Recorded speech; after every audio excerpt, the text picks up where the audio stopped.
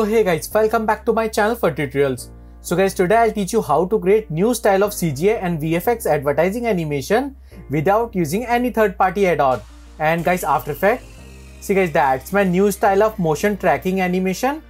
Guys, I'm not using this time After Effects for tracking. And guys, see that's my Blender 4.1 version, right? Okay, so guys, now I show you how to create this type of animation. It's really simple and best tutorial for beginners so stop. And guys i create new new project check. And guys select all press delete key. So next one guys click on here. That's my vfx and motion tracking check. Yes.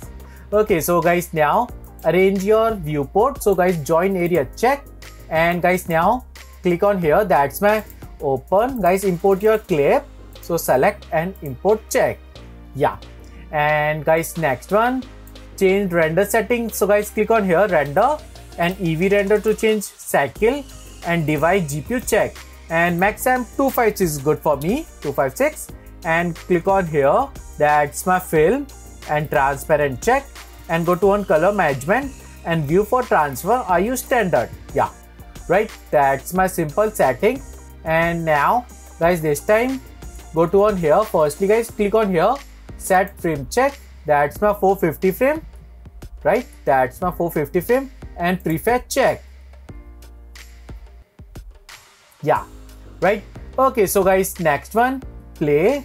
Guys that's my video only like a perspective view right? That's my perspective view and changing location.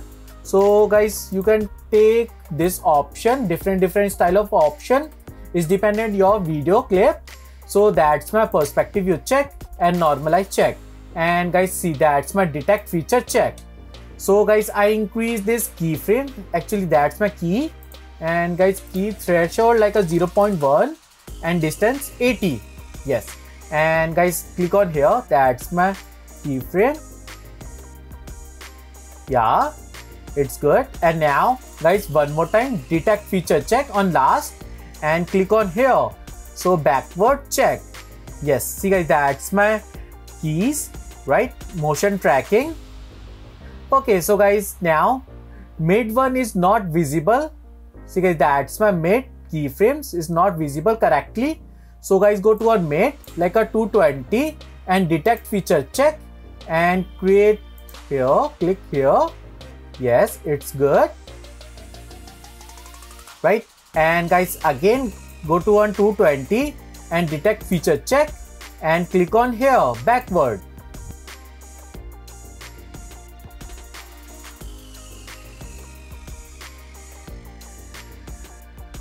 Okay, so guys, my motion tracking is finished. That's my simple tracker points, right? And guys, go to on up. See guys, that's my keyframe. It's not so good. Guys, I create smooth framing, right? Smooth framing. So guys, go to on here, solve. And guys, see that's my keyframe check and all check, right? Select all and check and go to on here, clean. And firstly, guys, click on here, filter, track check and guys I change threshold like a 10 threshold 10 enter. And guys see that's my selection. And press delete key and delete track check. Yes. See guys that's my really smooth track here right? That's my really smooth tracker. And guys now go to on here solve camera check. Okay so guys my solve camera motion is finished and see guys the atmos solve error it's 0.41 and guys best for me. So firstly guys you can hide this red boxes. So simple guys alt d hide. And guys now delete some edges. So guys select your here. Clean track check. And guys clean error like a 2 yeah. And guys decrease 1 and guys again press delete key and delete track check. Yes. And one more time guys. Solve camera option check. See guys that's my solving camera percentage. Is take a little bit time. Okay so guys second time. My solve camera error is 0.30 it's best for me. And guys now next one. Go to on here. Scene setup. So guys firstly click on here. Set background check and setup track scene check. Yeah see that's my setup right? And guys now next one you can select only three points for floor. So guys select only three points like this and floor check. Yeah. And guys see that's my size. So guys you can change size. So this time select only two points like this. And see that's my size. So distance like a 5 is good and guys set scale check. Yeah. See guys that's my scale size. And guys you can also change axis. So guys that's my axis made one. And go to on here. Guys select only one point and set origin check. Yeah that's it guys. Okay so guys my motion tracking is finished. That's my really simple. And guys click on here. So press 0 that's my motion tracking. And guys delete your cube. I don't need this cube and guys go to on here camera. So go to on here background image and opacity 100% check. And play. Yes. See guys that's my really simple motion tracking right? It's really simple. And guys now I change some setting on here. So guys select your camera and go to on here location change. Guys location change also and go to on here rotation change.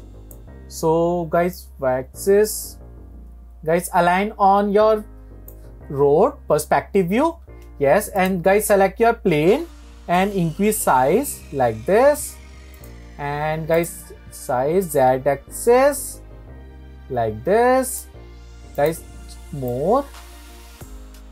Yeah right? See guys that's my floor and play yeah it's really simple. Guys see that's my motion tracking and easy way. Okay so now guys my motion tracking is finished. And now guys i apply some objects. So guys go to on here file and append. Guys i have some boxes. So guys select this candy box and collection check. Yeah. See guys that's my candy box. And guys now go to on here and guys click on here. That's my shader. Yes. Right. See that's my boxes. Okay. So guys I create falling boxes animation. So guys rotate your box. So select and guys rotate like this like a one actually 90 and guys also I increase size box size so guys select your box and press scale S and 2 that's my 2 axis and guys go to on up. So guys go to on here and go to on here like this. Yeah that's my viewport right? And guys select your box. So I change this one axis like this. Yeah right? See that axis. And guys now next one. I apply this time rigid body tag. So guys select your box and go to on here rigid body. And that's my active. So guys it's my cube box shape. So use box. And guys also that's my friction. Friction like a 0.8 is good for me. Okay so guys select a plane and guys rigid body check. And this time type I use passive. And friction like a 1 enter okay so guys play. Okay see guys that's not animate. So guys stop go to back. And guys select your box so guys duplicate. So press ctrl c and v. So press 1 and guys duplicate this box. So press ctrl c and v go to on here like this. And guys this time i create only demo animation. Go to an up little bit and rotate. Rotate like this and play. Yeah yes. See guys that's my simple animation. Dynamic animation and play. Yeah much better right? Okay so guys now next one i create more boxes. So guys select your boxes and press one. So duplicate so press ctrl c and v so go to on here like this. And guys select all right? And duplicate go to on here. So guys select more. Guys see that's my lighting. I don't need this light so duplicate go to on here yeah right see guys, that's my animation and guys next one play Yeah, really good. See guys, that's my really cool animation. Right? It's good. Okay, so guys, now stop. So guys, this time I create more. So guys, select your plane and increase size. So select and guys, increase size like this. So guys, go to on here. So guys, select your first box and rotation change. Rotation change. So guys, select your this one. And position guys same. 90 and position change. Yes.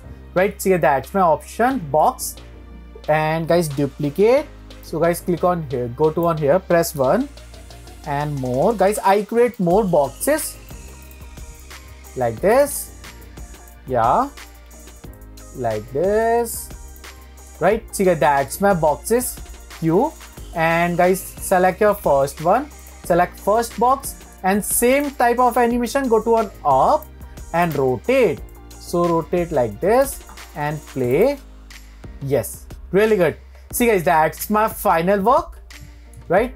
That's my dynamic motion tracking effect right? Okay so guys all is good. And now guys i increase framing. So guys stop automatically 250 right? See that's my automatically stopped on 250 frame. So guys go to back and click on here screen and go to on here. That guys see that's my rigid body world.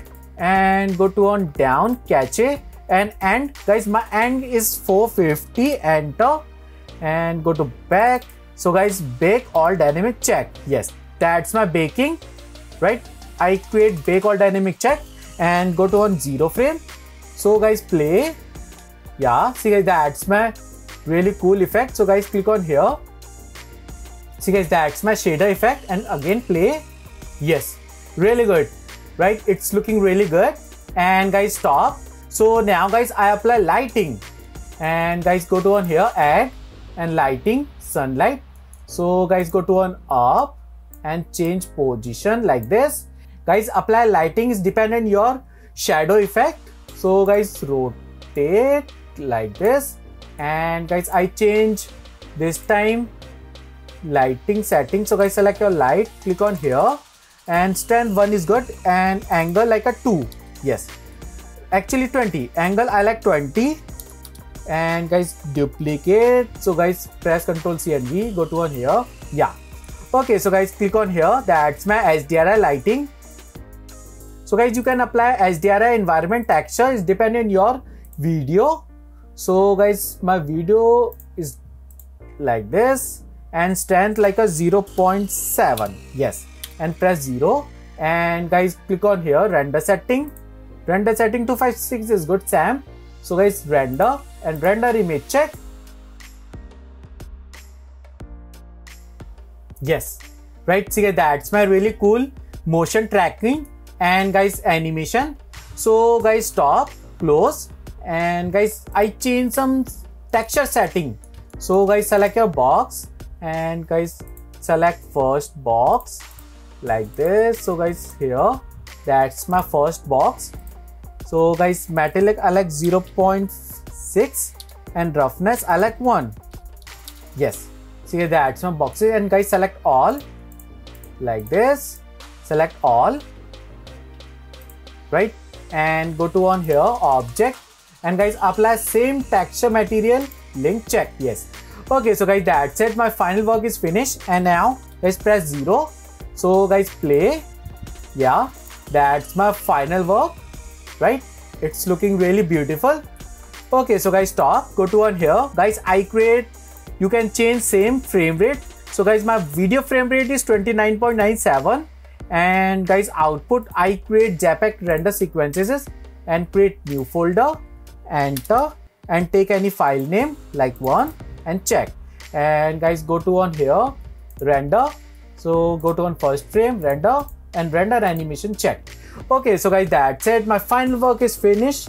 And guys also i change only one more setting. So guys close go to on here render setting and guys most important part motion blur uncheck yes guys motion blur uncheck i don't need this motion blur okay so guys check one more time all settings yeah all is good Yes, great. Okay, so guys, now go to on here render and render animation check. Okay, so guys, that's it. My work is finished. So guys, if you like my video, please share and please subscribe my YouTube channel. Thank you.